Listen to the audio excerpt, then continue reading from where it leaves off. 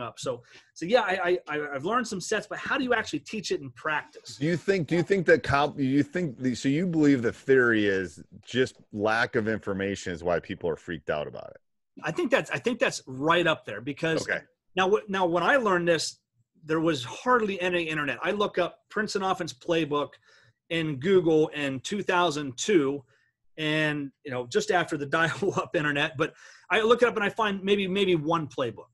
I, I find one person talking about. it. Now you can find a lot more now, but there's still a lot of misinformation, uh, a, a lot of uh, breakdowns out there that um, or, or people or, or coaches breaking it down, but have never run it. So there's a lot of a lot of inside stuff that they're not seeing. And what do you mean by that for people that are out there looking? So At, what I see, I, I see a lot of coaches uh, when you when you go on YouTube and you see a video broken down about how to run a specific set, you'll see them break it down as they see it, but you're not getting the why they're doing this and the how they got into that or what they did before or, Okay. or what they do after. Okay. So you're only getting bits and pieces. There's a lot of lot of great stuff on on.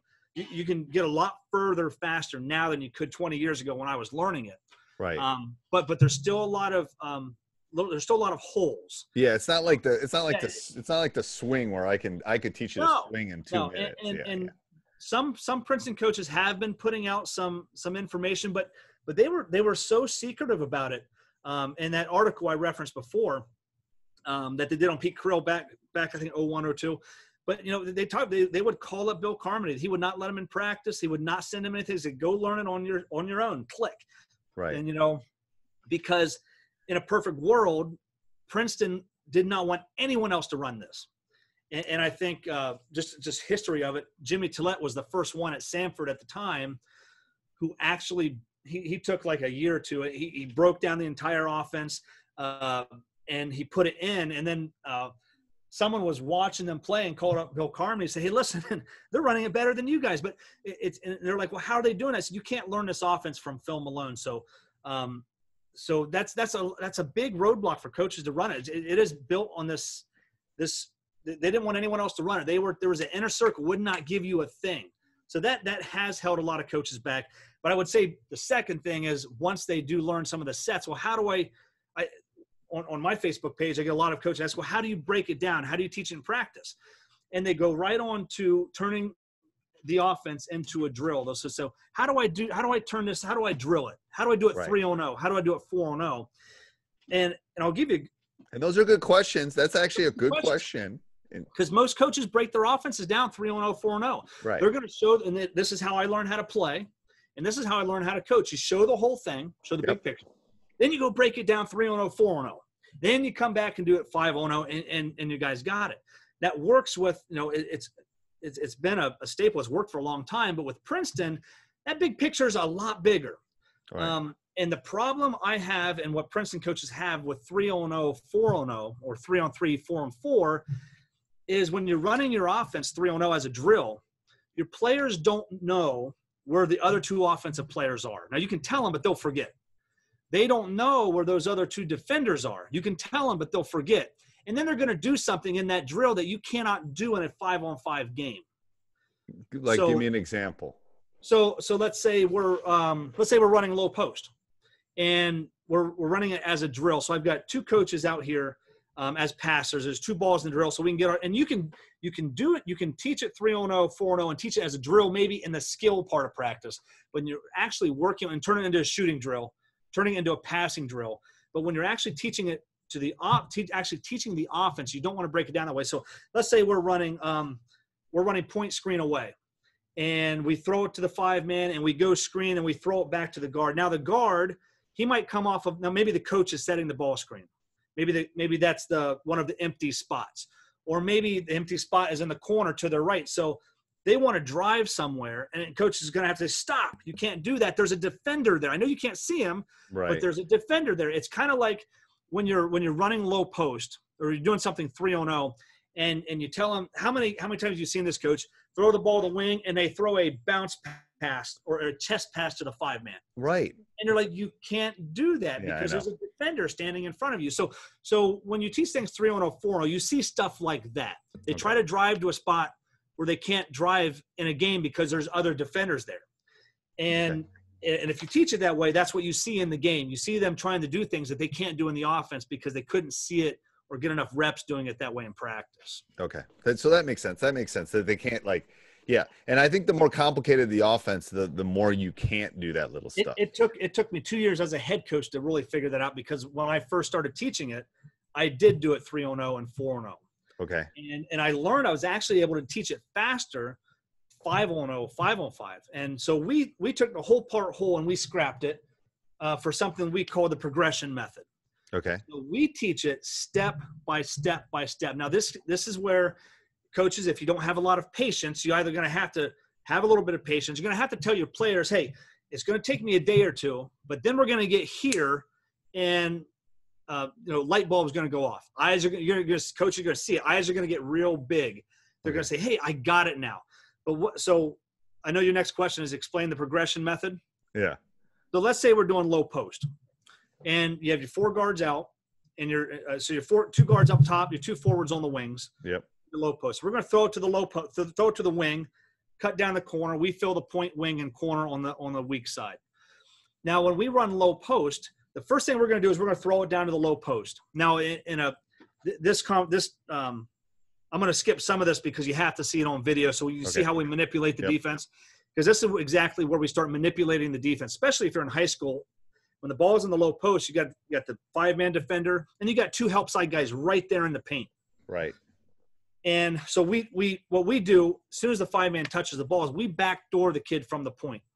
It does a whole sorts of things for the offense, but that's the first thing we're doing. So when we teach it five on zero, oh, is we're going to hit the five man and we're going to backdoor from the point. We're going to let our five man throw a little bounce pass, get that guy backdoor, get him a layup, and um, we're going to rep that for maybe five day one. We'll do that for five minutes. So for and you might say it's a, a very repetitive, but they're building the foundation. This first week that we practice we're, we're really building the foundation. So we'll do that for five minutes. And then the next five minutes, so what we do is, hey, now we're going to throw it to the wing, throw it down the low post. We're going to backdoor the point. Hey, five man, point's not open. He's not open backdoor. So what do you do next? Well, the reason that what that backdoor does for us is we try to remove the defense inside the paint, outside the paint. If we can do that, the second thing that we do is that five man, hey, five man, go score. So we'll let them start working their way to the middle and go through the progression of uh, post moves and right. try to score. So we're going step by step. So the third thing we're going to do is we're going to say, hey, we're going to throw it to the wing, throw it to the low post, back to the point. The point it's not open back door. Five man, you can't score. What do you do next? Okay, we're going to throw it to the player at the point. That's the next thing we're going to do, and we're going to progress step by step by step by step.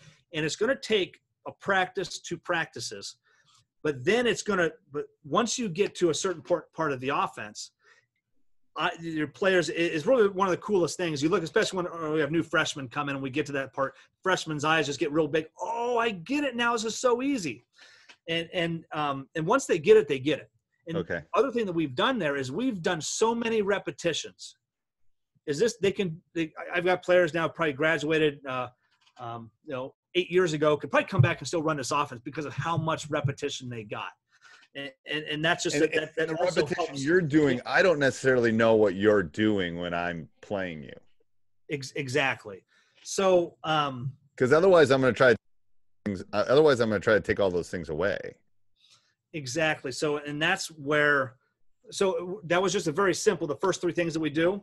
But now we're going to throw it to the point, and, and the point's going to have two options. When we're teaching it, we'll teach this one first, and we'll, we'll, teach it for five minutes that day. The next day, we'll teach it for three minutes. The next day, we'll teach it for three minutes, depending on what we need. Our assistant coaches, hey, you know, we need a little more, more time on this block. They got this, and we can move on to the next one. And, and that's how we progress to the offense. But we'll teach them once we get day three, day four. Now we're starting to teach counters. Now we're, hey, if, if this isn't open, you can do this or this. If this is not open, you can do this or this. So if you're trying to scout me and you only see us go back door, and we play the second time, maybe and we play that game, and if it's a league game, we're playing you a second time. Second time I play you, we might just use it every time. We try to keep you off balance that way. The but kids must love this because it's all five on five. It's all five on oh, five on five, and the other reason the kids love it is because everyone touches the basketball. Right. And, and your role players don't have to. you you know, it, this doesn't change. Uh, if we've got a stud, our stud still scores 16, 18 points a game because the ball always finds them. But everyone's involved. and your less skilled players, you know, one one your less skilled players. Um, I, I've had players who were not very good, had a hard time seeing the floor, but in practice, they could run and execute that offense because of the way that we taught it. What kind of shots are they getting out of that? What kind of shots? Not my stud. What kind of shots are my four, four So- through seven getting? yeah so going going back to the, the ones let's say we're going through those progressions and we're teaching that in practice once we say get to a drift we're now uh we're your your stud could catch that ball and just you know he catch the ball in the middle of the floor he see a gap he can get there but your role player can catch the ball in the exact same spot exact same gap can't get there what we like and how we teach this and, and we get our reps this way in, in the practice now we're setting a like a drift screen or we're running a backdoor cut. And that backdoor cut takes their defender and the next defender to help. That gets the next player open. So sometimes they just have to fill from the corner of the wing and they got a good look. And a role player can knock down that shot. The, a- a, stand, a standstill three. A, a role player can knock down. A role player can get off of what we call a drift, not a flare. It- It's a little shorter motion that they can get their feet set a little bit easier, and they can get a better shot out of So, that. so what? What? What? Give me the three most popular shot. What you're gonna get? Th- what kind of shots are you gonna get on this offense? I we get we get a lot of we get a lot of baseline. We get a lot of drives to the basket. Or when we're running point, especially, we'll get to this Okay. part where we're trying. We'll get drives to the basket out of point. We'll get drives out of the basket off the chin drift, Okay. and then we're getting threes. We'll get threes. Um, one way is sending a kid back door. And what hap- So if I break down a back door, let's say we got point wing corner, and we dribble to the wing. When that player goes back, this is why I like backdoor versus cut cut their face because we always used to jab away, try to cut their face. But when you do, when you cut in front of your defender, that next defender's like, oh, he's got it. Okay. Right. But if you cut behind, it's it's a natural instinct where that next defender's like, oh no, they got beat, and I've got to drop down and help my guy Right. as he's recovering. The next guy just steps up to the three point, steps up from corner to wing, replaces him, and they get a good look that way. Um, they also get a lot of a lot of threes off of the chin drift. That's why you see them run chin a lot, is because they'll get a lot of wide open threes off of that drift. and chin. And there's a ball screen on chin. Uh, there's not a ball screen on chin, but we put that in as a wrinkle. A wrinkle. That's what we would call a wrinkle, or or we would do some kind of misdirection and set a ball screen or a drag screen um, out of a different different spots, different areas. Um, but yeah, you're going to get you're going to be able to get a lot of drives to the basket more than you think. Um, you're going to get a lot of lot of open threes just off of a back cut or off of a drift, and we do a lot of driving off that chin drift. We get a lot of drive and kick, drive and kick, um, a a lot of movement like that. Um, the back doors we get, um, multiple back doors throughout the entire offense. And, and, and don't don't get confused and think that the Princeton offense is not a gimmick offense. It's not a backdoor offense. Um, a lot of coaches will think think that and they'll say, "Well, I don't want to run that backdoor stuff. It's just a gimmick." It, it's you know the good Princeton teams will go backdoor and they'll use the screen and they'll curl the screen. So they're throwing three And they'll and they'll knock that. down threes and they'll knock down threes. Yeah. Because that'll So- open it up. Yeah, I think I think the reason people think it's the back door is because that's what they see on TV. That's You what they see on TV. Oh my God, they, they just backdoor Duke and got a layup no- kind of thing. No you know? one, no, no one ever sees that. Yeah. You know, no one, no one ever sees. You don't see that, and players aren't taught that. They're taught how to use a screen, and they're taught how to curl off of a screen, but they don't. Right. They're never taught how to go back. Everyone and everyone wants the ball, so they come get the ball, come get the ball, come get the ball, and it gets very, uh, very predictive. Um, but when you start teaching players to go backdoor, one, you're actually getting them an opportunity to score quicker by going backdoor. But what they're learning is they're they're learning they're helping their teammates get open. And later on in that offense, another kid's going to go backdoor helping you get open. Right. And how, how often when you ran this at the high school level did you score off the back door rather than the three? My guess is you scored off the three more. Uh, we probably got more opportunities from three because we got open a lot. Now, now depending on the year, Yeah. we had 28% or 33%, but Right. um, but we we would we would really force we would really look at that back door. But that back door for us really got us more. It really helped us um, With spacing. pressure. It, it takes the pressure away because teams will get on pressure. We go back door, you know, and if we have it, great, we take it. And if we, this is another thing, if, if you throw a back door and you don't have a layup, I'm fine with that too. I'm one, that's my favorite turnover because you're turning the ball over under your rim, and now they got to Right. go. 90 Right. Um, instead of turning the ball over up top to get a wide open layup. So I'm I, I don't get upset when we throw a back door and we don't get it. Right. Now, if they can't see, now if they throw the back door and they can't see that the help defense is there, I might get on them a little bit. But we throw that back door a lot. And if we don't have a layup, we kick it out to the corner. We always have a corner guy on a back door pass. Um, but we we probably got more threes than back doors. High school, um, you have to you have to really run it uh, well and execute well um, to get good backdoor lays. But we we got our we got a certainly got a fair share of backdoor cuts. and part of that is the size of the court, I think. size of the court smaller. The players are not as skilled. So I would love to see the three point line in high school come out to where it is in college. That, and that, that was Bobby Knight's secret in the 80s before the three point line. He was so good teaching that motion offense, but what he understood was spacing. He Right. could get his players to stay away from the paint. But once they put that line there, all those other coaches say, Oh, I get it. We put our players behind that line. Look at the space we have now. Right. And and that's one of the things. That's why we start four feet off from the three point line. And But- so, so, so I'm so here's here's devil's advocate. I, you're four feet off. I'm just not guarding you. Yeah. We can throw the ball the wing and run our offense. And then once we start running our offense, we're going to start. Now we're going to take the D. So this is the cool thing. Um, one of my mentors told me, because you know when you run the swing, you're moving the ball. Let your coaches swing the ball, swing the, get the defense moving left so we can go right. Get them moving right so we can go left. Well, Princeton does both. We're going to run low post. We're going to take everyone down to the baseline, and then the low post is going to throw the ball ball out to the three point line. Everyone, the defense, the whole defense now coming out to the three point line and we're going to throw it back to the five, and now we're attacking the baseline again, or we're attacking Right. right, again, attacking left again.